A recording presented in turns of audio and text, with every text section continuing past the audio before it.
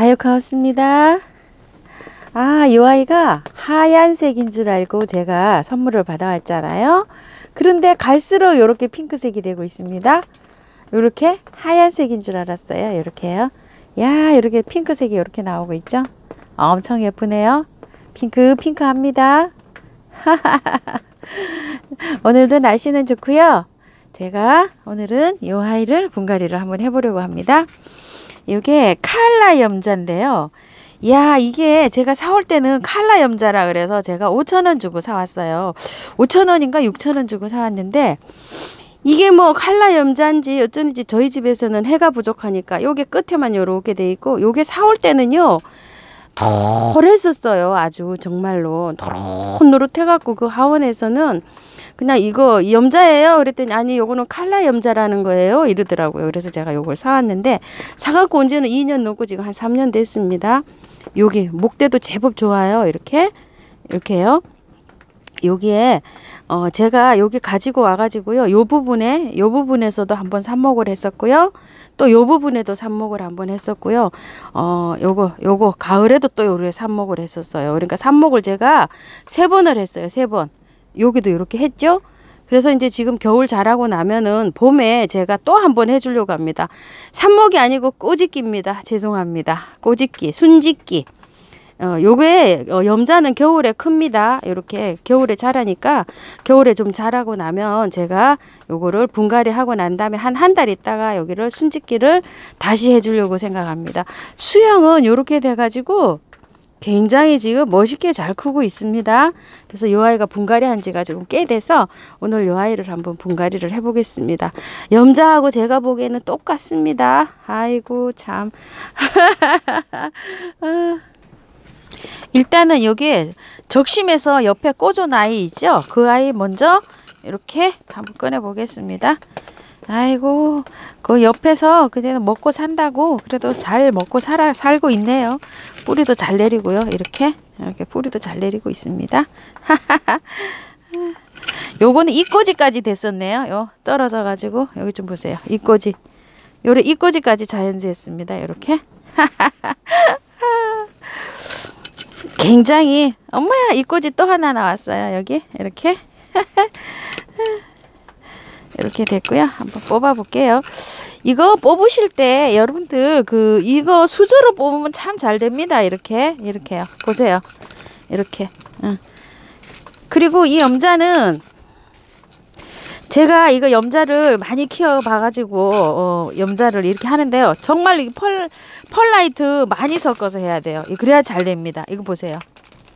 염자 이렇게 펄라이트 엄청나죠? 이거 뽑고 제가 한번 요거 보여드릴게요. 흙을요. 이거 좀 보세요. 이게 다 펄라이트거든요. 이게 보이는 게 여기 이렇게 내려갔잖아요. 뿌리가 제가 분갈이 한 지 꽤 됐다 그랬잖아요. 한 1년 반 된 것 같아요. 2년은 안 되고 밑에까지 이렇게 다 내려가서 이렇게 삭고 있잖아요. 이런 분갈이 해주셔야 됩니다. 그러니까 1년에 한 번 분갈이 해주셔야 돼요. 그런데 여기 좀 보세요. 펄라이트 엄청 섞어서 했습니다. 펄라이트를 한 3, 40% 섞어서 이거 분갈이 했어요. 이게 다 사가서 이렇게 돼 있죠? 이렇게 되니까 분갈이를 1년에 한 번은 해 주셔야 됩니다. 뿌리 정리 한번 해볼게요. 엄청 많이 섞어서 이거 좀 보세요. 이게 다 펄라이트예요. 펄라이트에다가 녹소토를 제가 섞어가지고 요건 분갈이를 합니다. 요 아이는요. 음, 상토 30, 펄라이트 30, 그럼 60이죠? 어, 20 정도는 녹소토를 넣습니다. 이 아이는 제가. 그리고 20%는 마사 이렇게 넣어서 분갈이를 하는데요. 음, 먼지.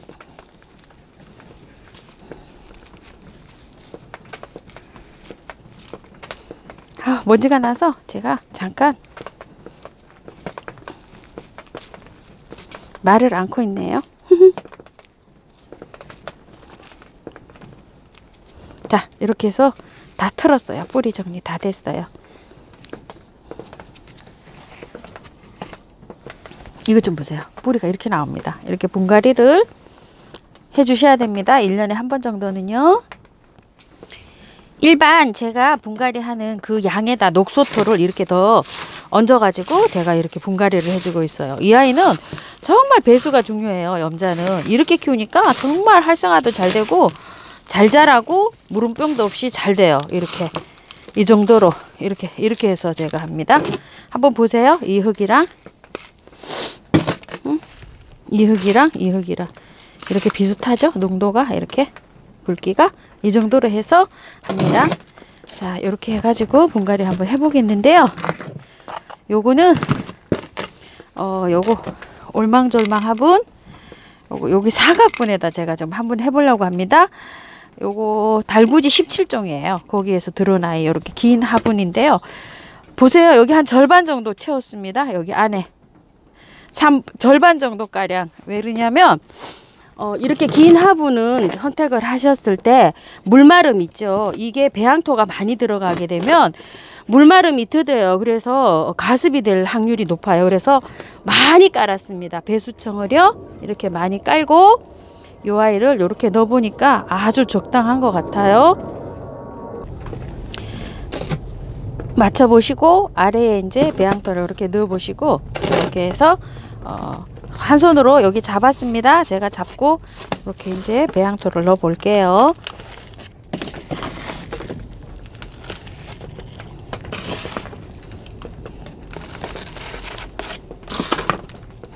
배양토를 넣으시면서 이렇게 한 손으로 잡고 배양토를 넣으시면서 그 위치 있죠? 입, 입과 그 묻힐 부분과 그 안 묻힐 부분을 이렇게 보시고 하시면 되는데 아유 이거 이렇게 자 이렇게 잡고 뿌리에 흙이 자 이렇게 되도록 쳐보고요.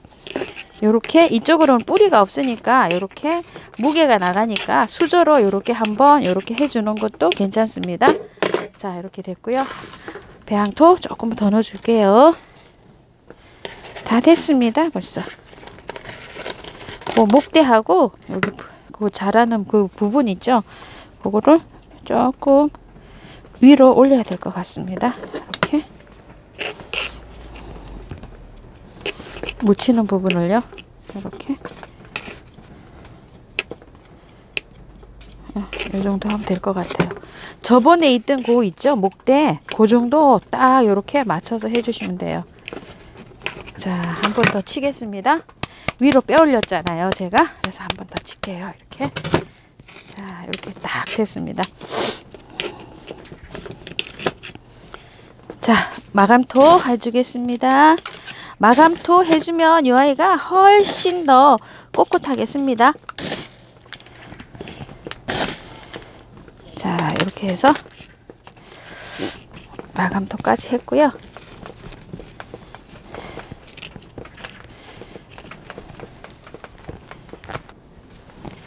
자, 이, 아, 요번에는요, 요거, 육남매 농원에서 데리고 온 요 보라공주라는 아이를 한번 심어 보겠습니다. 보라공주. 자, 이렇게 해서 흙 정리해 보겠습니다.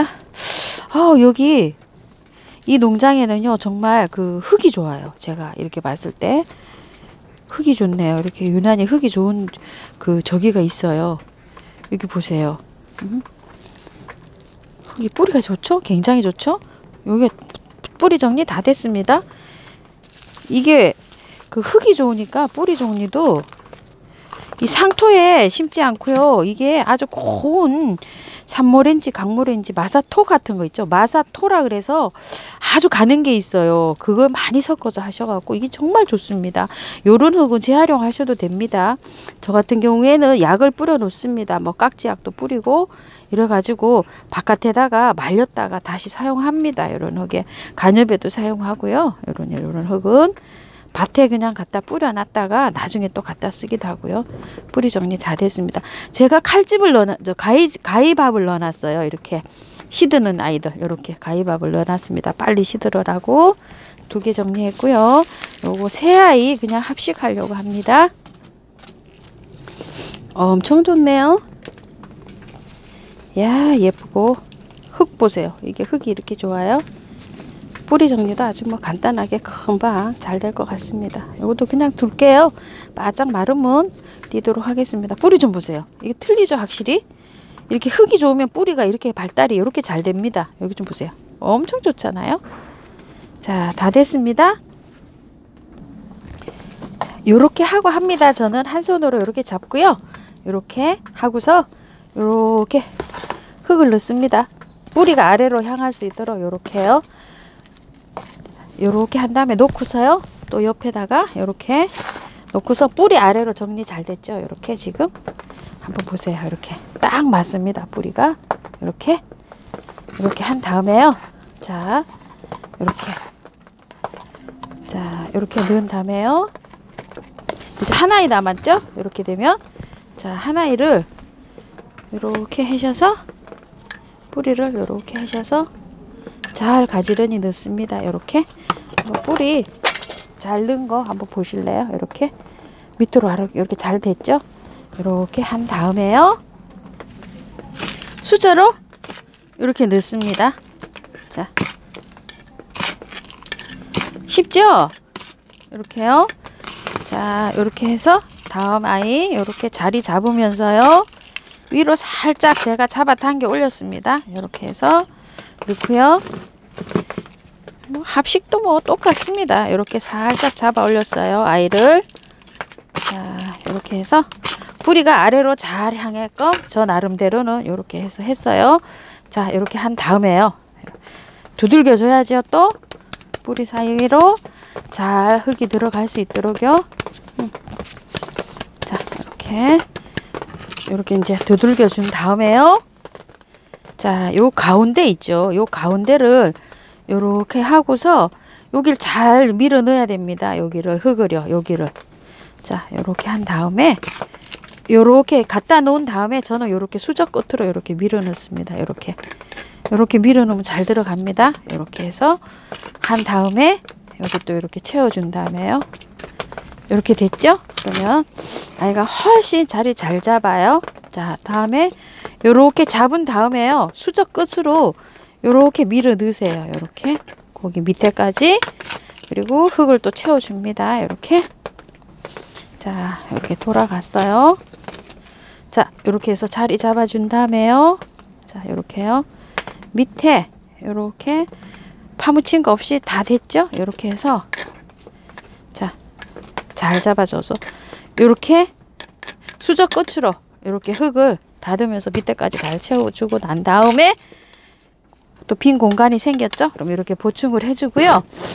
자, 그 다음에 이제 마감토를 해줍니다. 이런 식으로 이렇게 잡은 다음에 살짝 잡아 올리듯이 이렇게 붙잡고 하셔야 돼요. 마감토는요. 이렇게 자, 여기도 한번 보세요. 이렇게 마감토를 여기 이렇게 해주셔야 되잖아요. 이렇게 자, 이렇게 한 다음에 다듬은 다음에 마감토를 이렇게 갖다 놓고서 요 수저 끝으로 이렇게 밀어 넣으시면 돼요.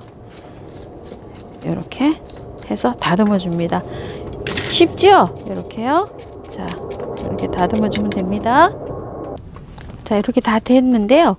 안에 이렇게 먼지가 있어요. 지금 먼지가 제가 하다가 여기 끼었어요. 그럴 때는 뽁뽁이 뽁뽁이로 이렇게 해주시고 모아졌잖아요. 이래서 붓으로 여기 잘안 나가요. 그래서 뽁뽁이로 이렇게 해줍니다. 이런 경우에는 그리고 굵은 모래는 아니고 아주 가늘어요. 그래서 제가 이렇게 붓으로 안 해주고 뽁뽁이로 이렇게 해서 털었습니다. 이렇게 해서 얼굴도 깔끔하게 여기 지금 됐네요. 이렇게 해서 붓으로 이렇게 해주셔도 돼요. 이렇게. 근데 흙이 미세한 흙이 있어갖고 제가 좀 뽁뽁이로 털었습니다. 이렇게 아이고 여기 저 백분 낀 거 다 없어졌네요.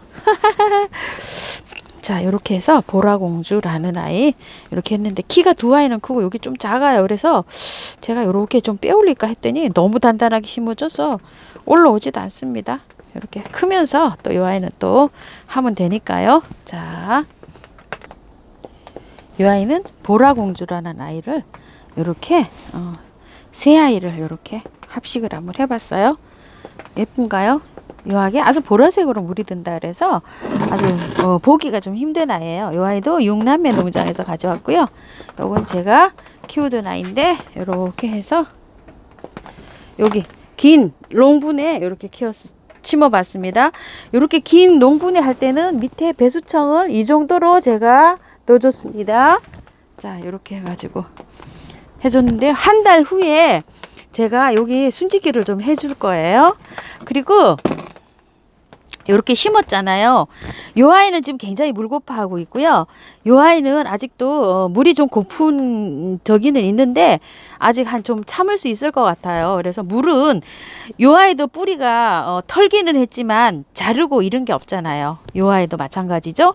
그래서 어, 상태를 보고 한 열흘 정도 있다가 제가 물을 줄 그럴 계획으로 지금 있습니다.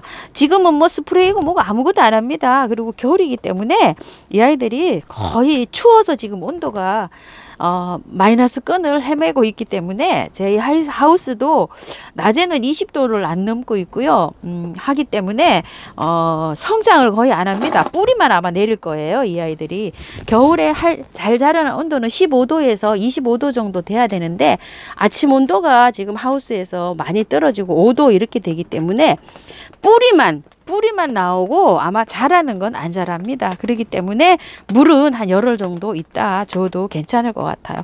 상태 이거 굉장히 지금 물, 물 많이 고파하고 있습니다. 지금 이런 상태입니다. 제가 물 줄 때 한번 말씀드릴게요. 다육하우스 TV였습니다. 감사합니다.